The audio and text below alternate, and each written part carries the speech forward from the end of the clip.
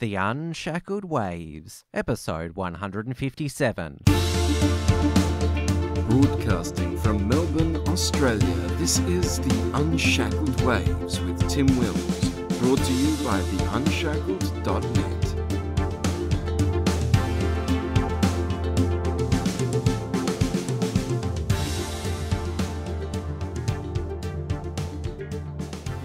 Hello, everyone. Great to have your company. Uh, now, while we were at the uh, No Snowflakes pub night with Avi Yemini and Sydney Watson, we met a rising star in the uh, alternative uh, media scene, the, the young conservative who's with me in the studio. Hello. How are you going? Good, thanks. Now, your uh, Facebook uh, page, where it's it's mainly you doing rants uh, rants in the car, you assure us that uh, f- uh, when you're driving, it's all it's all safe. Yep, it is. It's absolutely. It's all hands free. So yeah. Now, your page was only established on uh, May 25, but you've already got uh, 3,000 likes on Facebook, which is amazing. Yeah, about about three thousand four hundred or so now. Yeah. And are you surprised by just how it's grown in what's been about what two weeks? Yeah. Well, I think um mainly a lot, a lot of the following comes from a couple of key videos where that it's gotten a lot of shares. Like I made a video um. Uh, about all the foreign aid that we're giving away and the fact that um, there's still over 100,000 people a night sleeping on the streets um, each night, and I think that hit a nerve with quite a few Australians. That's been shared about oh, I think 60,000 times now. So yeah, I think that's partly the reason why it's grown. A lot of people have seen that particular video. So yeah, Yeah, you're, uh, you're certainly, I, I think, going to go a, a a long way given that you've got such a following after a short time. Now, you're called the, the young conservative. People say you, you look very young. How old are you? I'm 19. 19. Yeah. So, so you're an adult. Yeah, no, I'm I'm an adult technically. Yes. Mm. Now, obviously, uh, a lot of uh, young people, uh, the stereotype is is that they're they're of the left when they're young. There's that famous expression: "If you're not a socialist uh, when you're 20, you've got no heart. If you're uh, uh, still a socialist when, you're 40, You 40 got no brain. Yeah. Now, how, how did you come to conservative values so young? Um, well, I think it's sort of I've always held these sort of um, views since I was quite young, since I was maybe about thirteen or so. But um, this sort of cultural Marxist, politically correct kind of status quo that we got going on at the moment that sort of hit a nerve with me when I was about sixteen a few years ago. Um, uh, you know, with with, with uh, I think the first thing that started off for me actually was I used to use Tumblr a bit when I was younger, and um, uh, I saw it was that was sort of the first in about 20, 2013 or so was the first sort of um, taste I got of all this new gender politics and that sort of thing, and that's sort of what got me started. Like this is crazy, and it's sort of just grown since then, and I've become quite active in the past few years or so. So um, yeah, basically it's just my common sense really that got me to where I am now. Now, obviously, you're you're here in Melbourne. Did Yeah. you go to school here as well? No, no, no. I, I went to school in Perth. I'm originally from Perth, and um, uh, that you know th- this sort of thing that's going on at the moment, all of these, all this political correctness isn't so. It doesn't manifest itself so much in Perth, but over here in Melbourne, I can really see the difference. So Yeah, oh, uh, a, a lot of people do say that when they, when they come here. Yeah. Uh, I, I get quite sick of uh, fr- uh, friends when I tell them uh, I'm living in Melbourne, like, oh, poor you. yeah, people have said the same thing to me as well. I think, oh gosh, do you have to identify, identify as a different gender or something? I think, oh, well, not quite, but Uh, uh, uh, it's not that bad. it's not that bad. Yeah, no, I can I can say that it's not as bad as they say, but it is kind of bad. Now, uh, a lot of your videos, they're, they're short uh, rants, as we established, uh, just in the car. So I, I thought it'd be good uh, uh, while I've got you here so people can get to know you a bit more. What are the, because you're obviously uh, Gen X, which is the, the up and coming Yeah. uh, generation. I'm a bit older, I'm Gen, Gen Y. Uh, what are the, the type of issues that matter to young people today? Well, I think um, a lot of it to do at, at the moment in, in this day and age in 2018. I think the issue of free speech is a very big one, especially on university campuses and in the media and whatnot.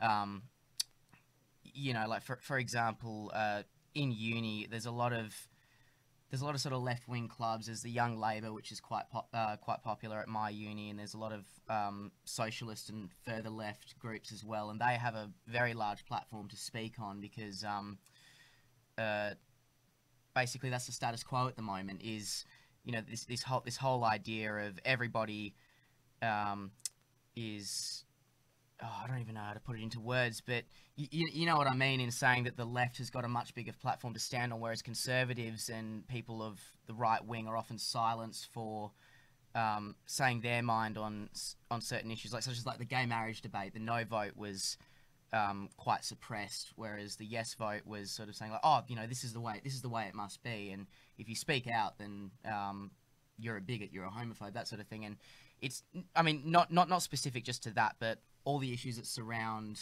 the whole uh, leftist narratives of uh, you know racism and all this sort of stuff. And yeah, I'm not, I'm not sure how to put it into words, but like yeah, basically, I think that conservatives and right wingers are often suppressed a little bit in terms of what they can and can't say.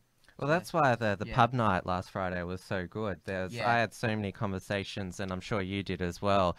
Uh, uh, a lot of people came their own saying, "I'm glad I'm finally among like-minded people. Yeah. I feel that I can't be myself at, at work or amongst friends." Yeah, I mean, like I've I've had debates with people in um in my uni classes, which has often um, ascended into shouting matches, which is a little bit of a little bit of an icon of the left, really. You know, they they shut down debate in in favor of feelings and not offending and that sort of thing. And I actually had someone who I don't really speak to in one of my uni classes come up to me and say, "Wow, you know, I I kind of think the same way as you, but."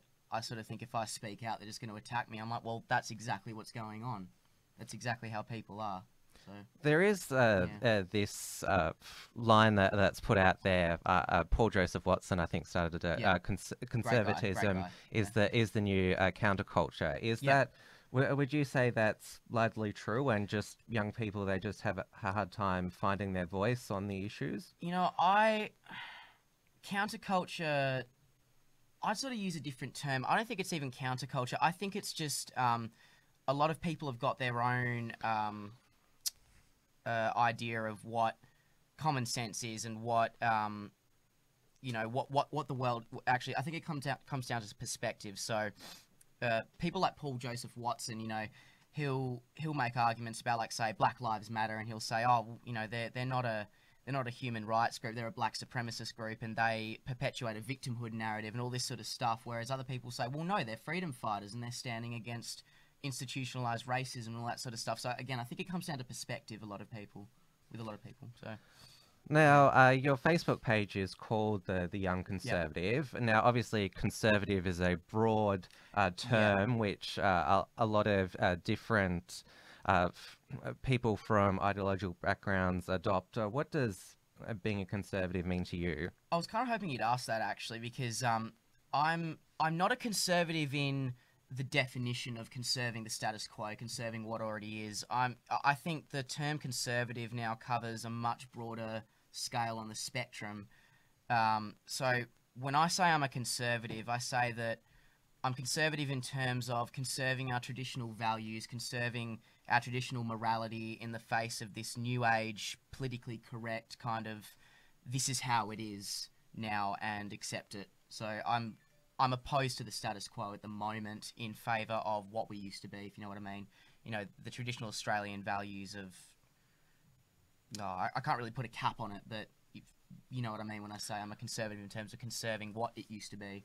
I- I'll, I'll put a, a, a few more concrete uh, propositions to you. So, for Yeah. example, what should be the, the size of, of government? Uh, for for example, like should uh, governments be be spending a lot on welfare and other essential services? Where do you stand on sort of those big questions? Well, uh, if, if you're talking about government spending and that sort of thing, you know, as, I- as I said, I made that video about how we're giving away so much foreign aid while all these people are sleeping on the streets. I'm absolutely not for a welfare state. You know, I believe that welfare um, should be there to help people get on their feet and nothing more. You know, so you've got all these homeless people each night who are sleeping rough on the streets, and that can be, you know, for whatever reason. Maybe they were on the ice, maybe they just lost their job or got evicted, or they had financial problems. But I think that um, in terms of government spending on things like welfare, it should be to get people out of maybe you know a little rut that they may be in, and help them get into situations where they can get a job, get qualified, get into accommodation, and that's not happening at the moment. You know,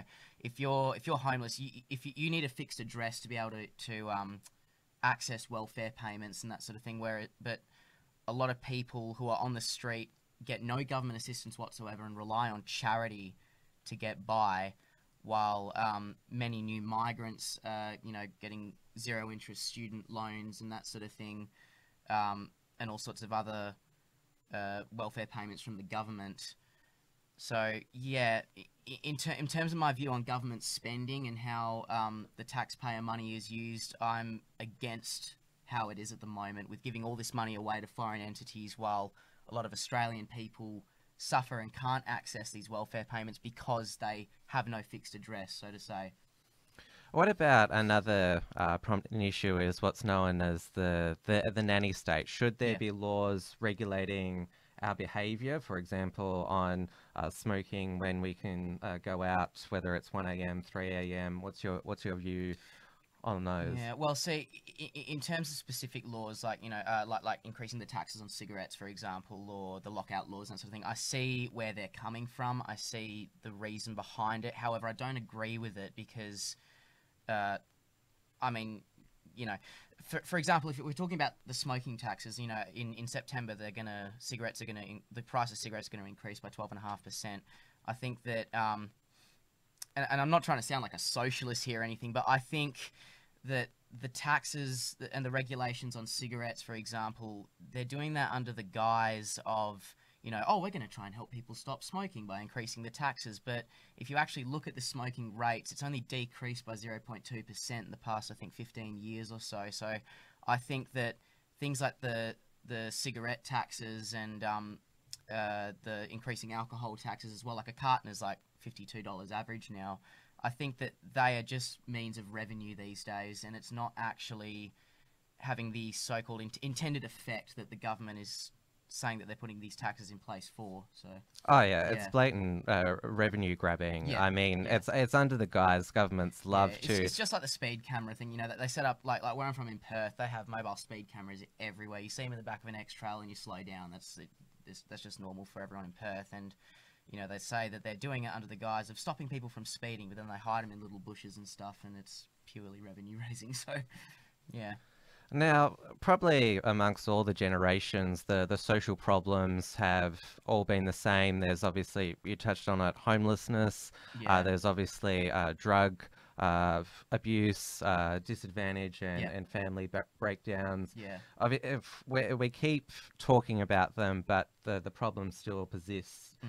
Uh, do you have any uh, fresh or uh, what what you see as superior solutions to those? Um, well, I mean, I'm no expert, but you know, if, if we're talking about things like homelessness and drug abuse and that sort of thing, you know, um, uh, I did a video a little while ago. Actually, um, you may have heard about the safe injecting Yeah. room in um, in North Richmond.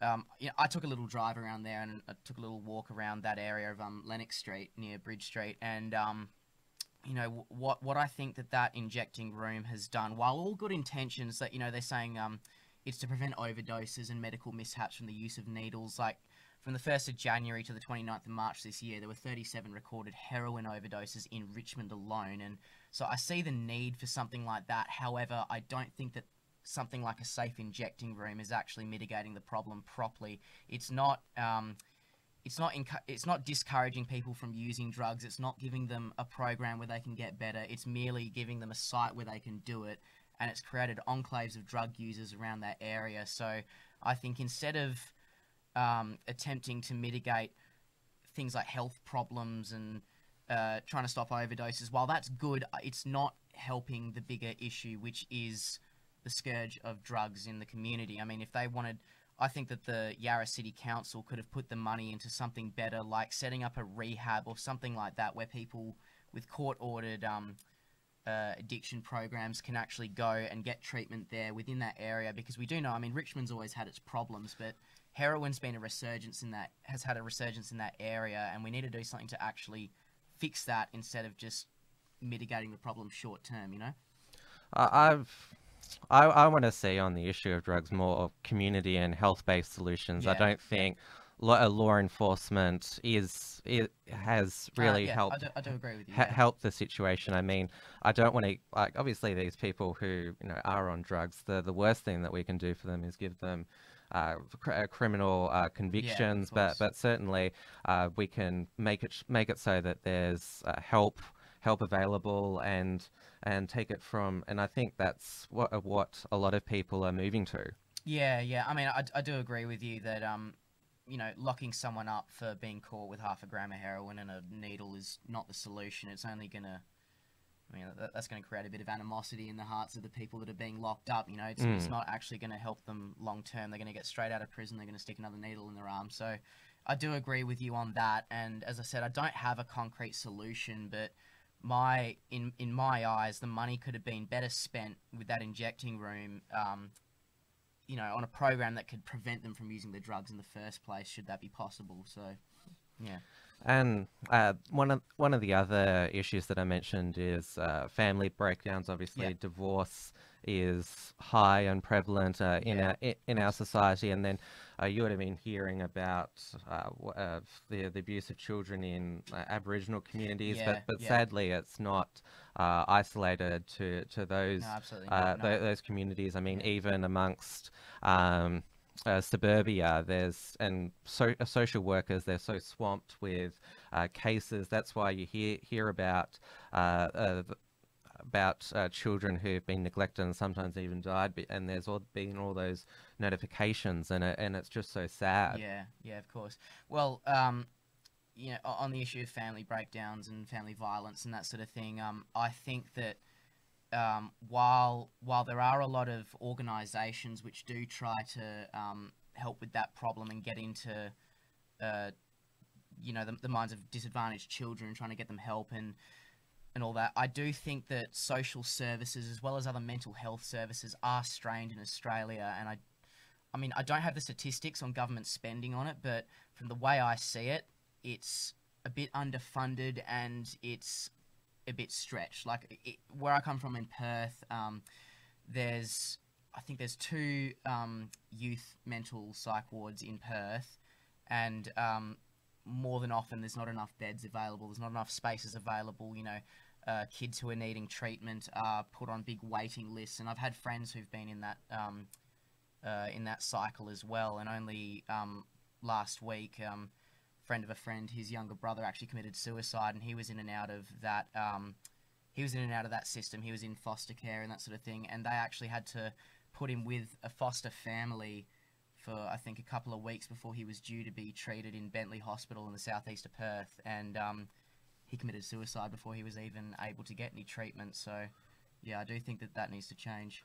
Yeah, that's uh, that, that's pretty harrowing. Yeah, it was. experience to have, and you're you're exactly right that there's uh, there's not enough focus on uh, as you talked about getting these these beds in in Yeah. psych wards because it's not a, a sexy po- a political issue. Yeah, yeah. I think um, the government needs to stop spending so much on things like foreign aid and other pretty much useless things for Australians and focus more on what really matters. Things like things like mental health, things like uh, mitigating problems with, with family violence and the Department of Child Services and that sort of thing. Because more often than not, they're failing the families and children of Australia. So Uh, and also, uh, we've we haven't wanted to consider what is, uh, I think we'd all admit, an unpleasant solution, which is sometimes removing children uh, Mm. from uh, their families and not just moving them from foster home to foster home, but actually adopting them out. Because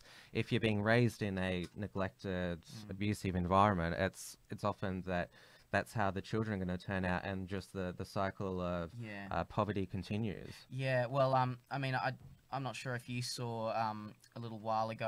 Uh, I think it was on the Today Show. They were talking about um, all the neglect and abuse in a lot of Indigenous communities and how um, uh, those children are not being taken out of those circumstances. Sunrise, it was. Sunrise, that's it. Yeah, and um, uh, and there was a huge backlash. Um, I forgot who it was, but it was it was a woman. I think she was a political commentator. Uh, Pr- uh, Prue MacSween. That's it, yeah. And she she basically suggested that um, uh, Indigenous children be taken out of these communities when there are when there's no family who are um, able to look after them and adopt it out to white families, and they're saying, "Oh, well, this is going to create another stolen generation," and and blah blah blah blah blah, and it's just, it's going to be just like the the 50s. But I'm thinking like, well, here we are again. Here's the narrative of feelings, uh, you know, fearing fearing offense over actual logical solutions. You know, they're saying, "Oh no, no, no, keep these children in these communities where they're being abused and there's all this drug, all that sort of stuff, uh, so that we don't have another stolen generation." And I think that that is absolutely wrong to say that these children should should be kept in these communities where they're being abused out of fear of offending, of, of causing another, uh, of creating another stolen generation, so to say. So I mean, because that is racism. I was saying that they have to remain in those communities just they're because. indigenous, yeah. yeah, yeah.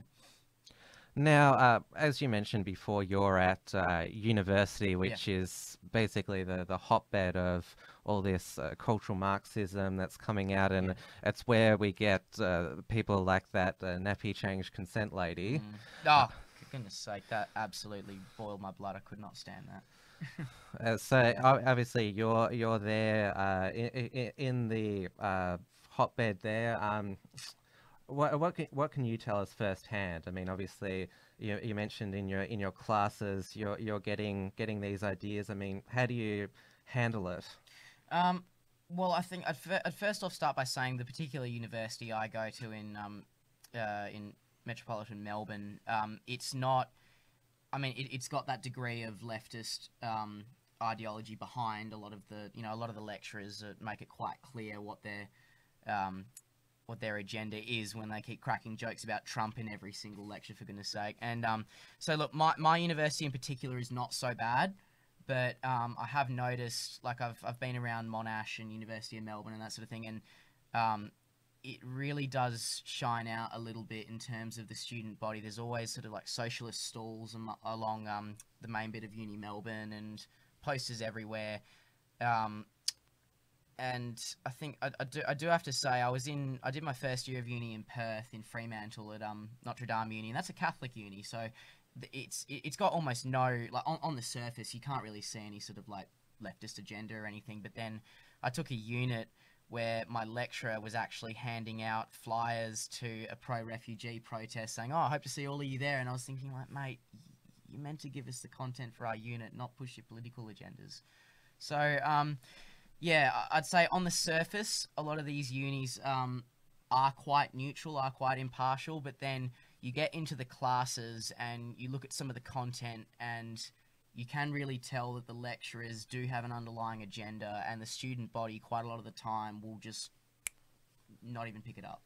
They'll just take it all in. So yeah, Yeah.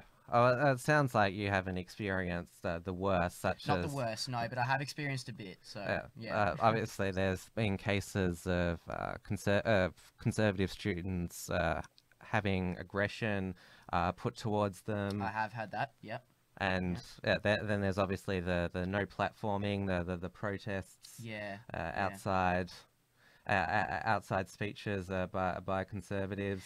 Yeah, well, actually, um, I, I do remember having uh, a debate once in one of my literature classes, and um, there was a. g- Uh, I'm not sure if you've heard about Heart of Darkness, the novel by Joseph Conrad. It was, it was a novel based around um, the Belgian occupation of the Congo, and you know all the atrocities that happened there. And there was a Nigerian um, uh, author who was a critic of the book, saying, "Oh, the um, th- this book shows that Joseph Conrad was a racist and all this sort of stuff because he didn't give the African characters a voice and they were dehumanized, all that sort of thing. And um, uh, my lecturer said, "Oh well, um, if this if this author um, Chinua Achebe were to say this to me, I don't think I could agree with him. Uh, I could disagree with him because I, as a white woman, I just can't do that." And I sort of put my hand up. I said, "What does your race have to do with it?" And she said, "Oh well, um, well you know, I, I didn't experience any of that." I'm like, "Well, neither did he." And this girl in my class, um, uh, she sort of said, "Oh well, you you've got a degree of privilege and and you're white splaining right now." I said, "No, no, that's an absolutely racist concept. You can't say." I said, "So so are you telling me that if one of my one of my black African friends who agrees on a lot of the same stuff that I do, if he had the same opinion as me, would he be any less right or wrong?" Well, yeah, yeah, because he, he's black and you're not. Said, no, no, no, no, you're a racist. You're a racist for saying that. That's absolutely illogical. And that got into a shouting match where she actually got up and started acting aggressive. I thought, goodness me, sit down. sit down. This is just an opinion. This is a debate. And you're shutting it down by screaming and carrying on.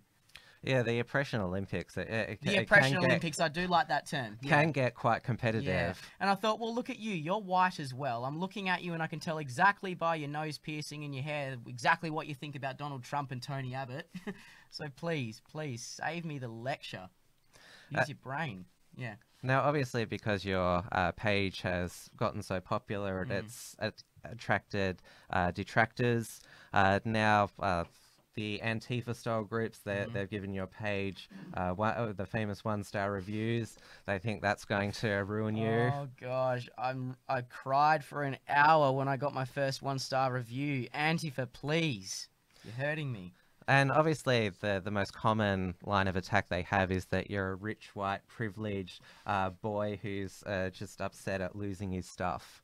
Yeah, well, I'll, I'll put this forward. I'm, my family's not that rich. We're, I mean, we're well off enough to get by, but um, I don't think my race has anything to do with it either, because um, again, the, these leftists who are attacking me with this sort of stuff, they're using the same narrative of, oh, you, uh, you're white and you know you you you are not you know poor or anything, so therefore you've got more privilege than everyone else, and you shouldn't even have a say. And I think that again, that notion is entirely racist and illogical.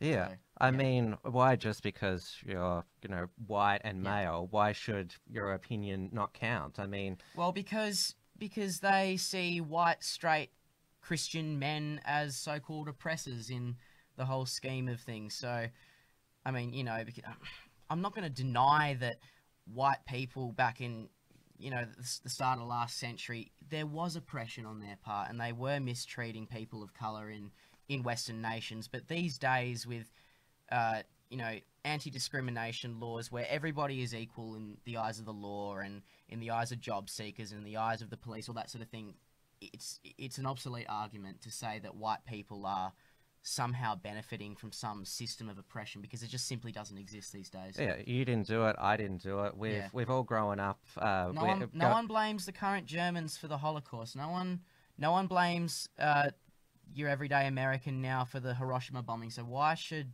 white people around the world be blamed for, you know, say slavery in the U.S. that ended in the 1860s? It's just absolutely ridiculous. And we all went to school with uh, people who are who are different races. we we didn't think a- anything of that. We all we all got along with well, you them. know, you know what? Actually, that, that that is a very good point. I was just talking with a friend of mine a little while ago about this. Um, I mean, you know, when I was younger, growing up in Perth, it, it, it was a little bit multicultural, not as much as it is now. But you know, whenever I'd uh, come into contact with, you know, say African people or Asian people or you know people of different races, I never used to see them as Asians or Africans or yeah. Filipinos or whatever. But these days, um, you know, when you have, say, uh, when, when I see on my Facebook newsfeed where there's like a black activist or someone from Black Lives Matter, I see them as a black person now. And, you know, I, I don't I don't hold any sort of prejudice, but I can't help but see people with colour now because that is uh, that's the sort of status quo that we have now that everyone is separated by race. And I think that's just ridiculous because when I was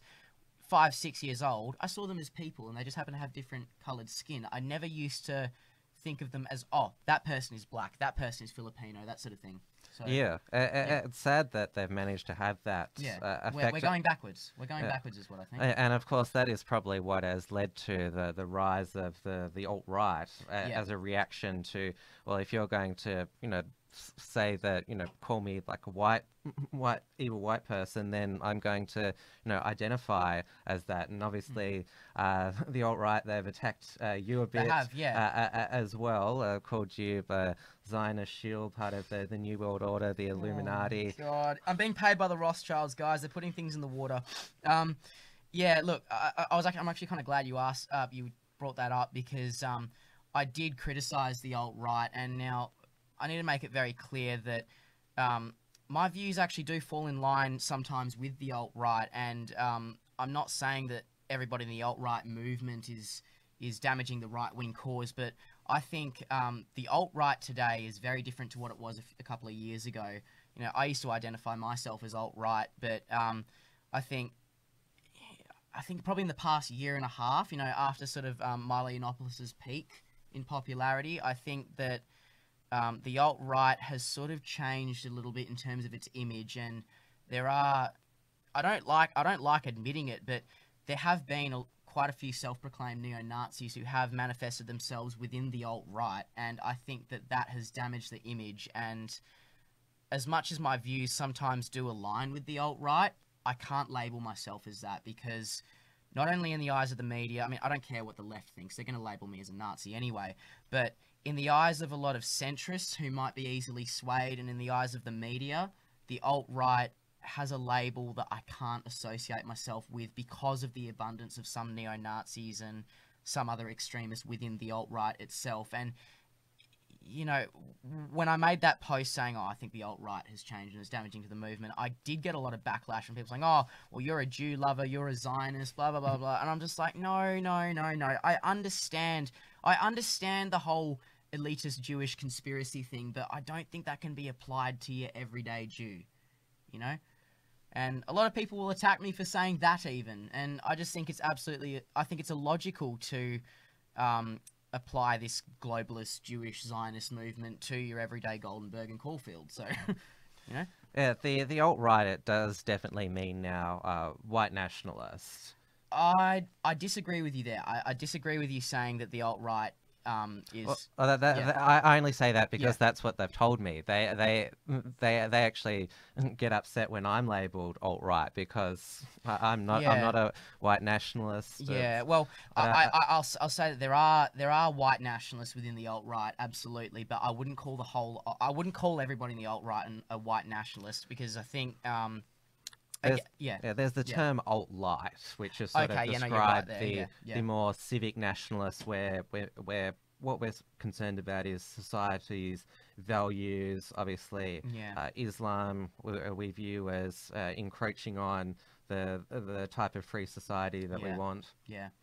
Okay. Well, yeah. I think bringing up nationalism, I would definitely call myself a nationalist, and look, it, it- it's a it's a very very difficult topic to explain my views on. I mean, I'm a civic nationalist. Okay. Yeah. So I so I, I I believe in um you know Australian culture and preserving that you know that, that sort of idea and i absolutely oppose any sort of ideologies that, that are coming in and trying to change that i mean you know we're seeing we're starting to see um, enclaves in western sydney and fairfield and bankstown and even even in melbourne in places like broadmeadows and st albans and all that um, i'm opposed to i'm opposed to immigration from third world countries because history has proven i mean you look at sweden you look at germany it has proven that a lot of these people coming in from not, not all of them but a lot of these people coming in from the middle east and from other parts of asia and from africa they have problems integrating. It creates issues. I mean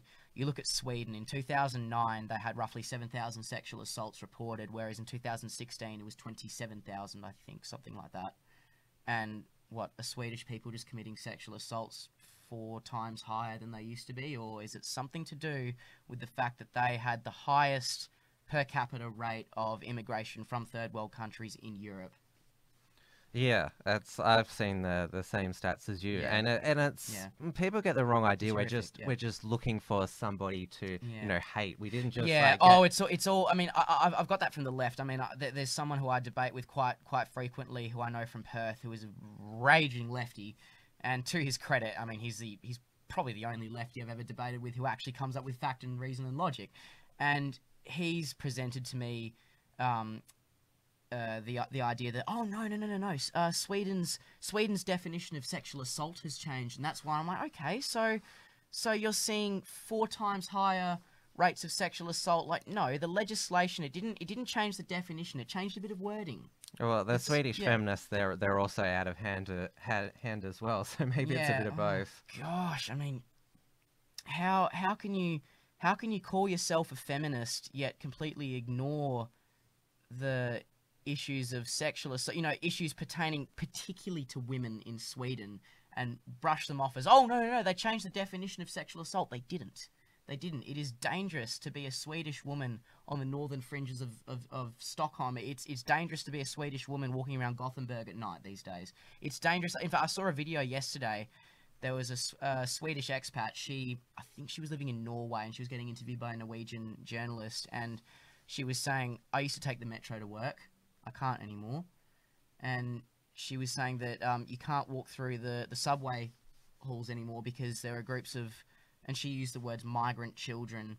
15, 16 year old children who will wait in these halls and snatch your bag or whatever. They'll come into coffee houses and hold a knife up to you and take your phone, that sort of thing. These were these were the words of a woman who experienced it firsthand, who was almost sexual, sexually assaulted if it weren't for a man stepping in in middle of Stockholm in the middle of the day. So, yeah. Yeah, it's I, I find that when uh, the left they're confronted uh, with these facts, it's they don't come up with arguments. They come up they're they're masters of excuses, excusing Yep, there we go. That's uh, exactly tho- what- those yeah. type of statistics. Well, uh, you know, you're, you this is not a. they- They'll say this, for example, this is not a uh, Muslim problem. This is a man Society, yeah. problem. Yep, exactly. And um, you know, and I brought up the argument to this person that I was debating with last night about Sweden. Um, you know, he was saying, "Oh well, you know, uh, th- this it's just, it's just because crime is becoming more prevalent. It's nothing to do with the refugee intake. It's because, and you know, and he started to say, "Oh, I think Swedish people should be worried about the rise of neo Nazis." I'm thinking like, "Oh my gosh, mate!" And I brought up the argument to him. I said, "Okay, well, I read a statistic um, uh, just yesterday." That said that uh, in Sweden there was an average of four gang-related shooting deaths per year in the 90s, and it's now over 50 per year since I think 2010. I said, so what do you have to say about the uh, the rise of Assyrian gangs, um, you know, Iraqi gangs throughout Gothenburg and Malmo and and Stockholm that, that have been rising since the late 90s, since um, about 2009 2010? He said, and then he, he he didn't reply for a little while, and he came back with a Wikipedia article saying, oh see, there's this big proportion of Assyrian people who are Christians. That they, they aren't Muslims. I'm thinking like, what? Why are you suddenly bringing this into? Why are you trying to argue? Oh no, they're Christians. Yeah. Like, no, that, that, that's not the argument we're talking about. You're trying to take the blame off of Islam and shift it onto Christianity, where there's no. Doesn't make sense to me. yeah, uh, Yeah. it's it's bizarre. Now, uh, you're as you're only 19. Yeah. Not only have you started a Facebook page, but you've also gotten uh, politically active. You've Mm. joined the uh, Australian Liberty Alliance. So, I've uh, become. I've, I've done a bit of stuff with them. A bit of. uh, activism, so, yeah. so what's your plans with with them? Given that it is a what, state election year. Yeah. Um. Well. Uh. I'm still weighing up sort of my position in the, in the ALA. I was um. I was actually offered um. To be a representative for the seat of Fremantle in Perth in the upcoming state election, and now let, let's just. I mean, you, you you being in Melbourne, Fremantle is a lot like yeah, that. I know that Fremantle is Yeah. probably the, the most left wing area. Yeah, so so so look, yeah, yeah, pretty much, and um, so I I I have been offered this position as um a representative for the seat of Fremantle in the state election, and um, we know that it's not going to get in immediately in Fremantle, but um, they do need a representative for that seat, and I thought, well, why not? Your, you know, my my electoral address is still in WA, and um, I guess I could campaign, but I'm thinking me being here in Melbourne and having all this, um, you know, uni work to do and not being able to be in Perth all the time might hinder that. So I'm not sure at the moment. I'm still debating that. Maybe in the future. Yeah, it's oh, you've got a you've got a whole life uh, ahead ahead yeah, of you. and it would make me a very, very young rep. I think it would probably be the youngest in Australian history. I reckon. I don't think there's ever been a 19-year-old in a having a seat in a local government. So Oh, well, you've certainly uh, made a big impact of, mm, on the on the political scene and also on Mm. the, the social media scene. So it's been great to chat and get to know you. I'd Yeah. encourage uh, all of our uh, viewers and listeners to uh, go and like the the Young Conservative uh, page. And yeah, we'd love to, to keep in contact uh, with you. And I'm sure I'll see you at some upcoming other Yep, events. no, you will. You'll, you'll see me at um. I'll be at the rally for Tommy Robinson on June the 9th. Um, and I'm hoping a lot more people turn up to that. I mean, we had um, the last rally we had was on a Monday, and there were about what about 150 people or so that turned up to that on a Monday, 24 hours notice. Some people even closed up their shops. So I'm really, I'm really excited to see the turnout. Um, uh, standing for free speech and against injustices like the imprisonment of Tommy Robinson on Saturday. Um, the amount of people that are expected to turn up, I think, will exceed about 300, 400. So Uh, Yeah. things are changing in Melbourne. things are changing. about- People are waking up a little bit. Yeah, I'll see you then. yeah. Well, cheers. All right, everybody, that's the show for today. There is still plenty more happening around Melbourne and elsewhere in Australia, which you should all aim to get to. There are more rallies for Tommy Robinson planned this weekend in Australia. If you're in Sydney, Melbourne, Perth, or Brisbane, please search Rallies for Tommy Robinson and Free Speech to get the date and location for the rally in your city. Tickets are on sale for the big tour by Stefan Molyneux and Lauren Southern in Australia this July. They'll be visiting Sydney, Melbourne, Adelaide, Perth, Brisbane, as well as Auckland. The tour is being hosted by new events company Axiomatic Events. Please make sure to grab your place before they sell out by visiting axiomatic.events. Lauren and Stefan promise to make a big impact to our national discussion while they are here, and it is certainly about time that we had that. Axiomatic is launching with a splash. If you're in Brisbane, you can meet the famous Mama Warrior Against Safe Schools, uh, political posting Mama, aka Mareka Rancy, in person. She will be appearing at the Mount Gravatt Bowls Club at 7 pm on Thursday, the 21st of June. Tickets can be purchased at axiomatic.events slash political posting Mama. It has just been announced another big name is on his way down under. Former UKIP leader Nigel Farage is touring in September and visiting Sydney, Melbourne, Adelaide, Perth, and Brisbane and Auckland as well. It is being brought to you by the same people who brought you Milo Live last year. Tickets, including various VIP passes, can be booked at nigellive.com.au. The True Blue Cruise annual Aussie Pride Flag March is nearly upon us. It was one of the first events we covered out in the field in Melbourne last year, and we'll be back again there this year. The date is Sunday, the 24th of June at 12 pm and begins at the Royal Exhibition Building. This type of event probably matters more now than ever, given the persecution of, of nationalists we are seeing around the Western world. Uh, the campaign against racism and fascism have been trying to uh, stir up a crowd there by putting up posters around Melbourne saying it's a, a Nazi rally. So it's important that uh, ordinary people uh, turn up to show that there's nothing wrong with being a nationalist. Also, don't forget if you want to take the Unshackled even further and score some awesome rewards, please consider becoming a patron at patreon.com slash the Unshackled. Also, don't forget we have our online store, Upright Market, where you can purchase Unshackled merchandise and other gear for right thinking people. So thanks once again for your company and we'll see you next time. Thanks for tuning in to the Unshackled Waves. Please visit theunshackledwaves.net for all the ways to subscribe and follow the show. Don't forget to pick up your free ebook at theunshackledbattlefield.net and keep checking out theunshacklednet for all the latest news and commentary.